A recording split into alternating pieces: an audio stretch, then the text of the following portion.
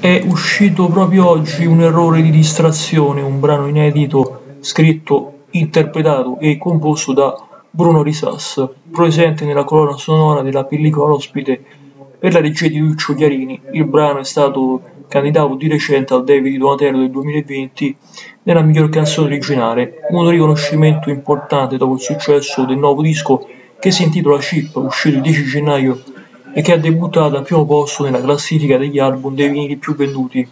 Un lavoro vero, sincero, autentico, diretto, introspettivo che il cantautore andrà a portare direttamente nei parchi più importanti di palazzetti tutto il nostro paese d'Italia per 10 tappe complessive che si parte, vi ricordo, dal primo momento al 21 di marzo 2020.